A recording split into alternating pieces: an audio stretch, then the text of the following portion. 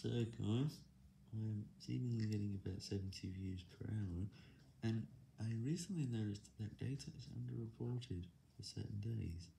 It was today that I noticed the issue, although for whatever reason it was for the 9th to the 10th September, and I don't know why this issue started again. Earlier that issue wasn't even there because of those triangle exclamation marks that appear whenever there's an issue with the real time as well, and I'm not sure if the issue is being fixed or something.